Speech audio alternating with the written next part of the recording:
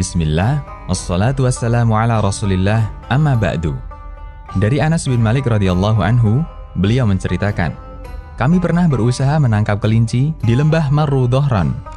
Orang-orang berusaha menangkapnya hingga mereka kelelahan.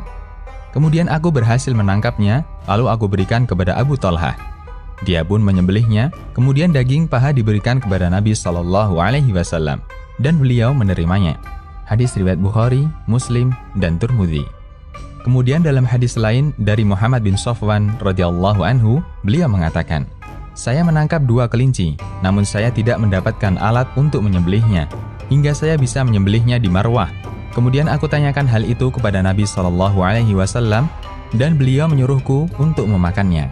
Hadis riwayat Nasai, Abu Daud, Ibnu Majah, dan disahihkan Al-Albani.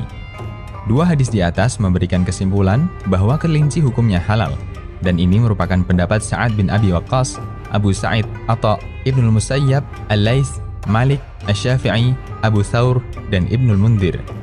Bahkan Ibnu Qudamah mengatakan, kami tidak mengetahui ada seorang pun ulama yang berpendapat haramnya kelinci sesuai satu riwayat dari Amr bin Al-As, Al-Mughni. Di antara ulama melarang kelinci.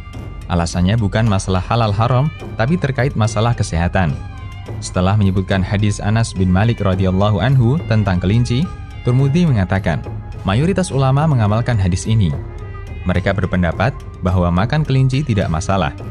Namun ada sebagian ulama yang memakruhkan makan kelinci, mereka beralasan kelinci membuat mudah mimisan. Jami At-Turmudzi. Namun kesimpulan ini kembali kepada keterangan medis. Demikian, Allahu a'lam.